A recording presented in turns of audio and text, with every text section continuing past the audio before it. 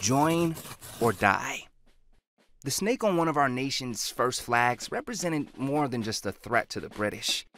Back in the 18th century, the snake was also a symbol of unity among the 13 original American colonies.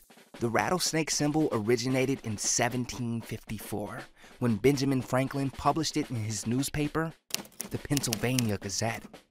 His cartoon showed a snake cut up into 13 segments to represent the 13 original colonies. The words join or die were printed above the snake as a plea for the colonists to band together in the face of the French and Indian War. Then, later, the snake symbol was used to represent unity during the Revolutionary War.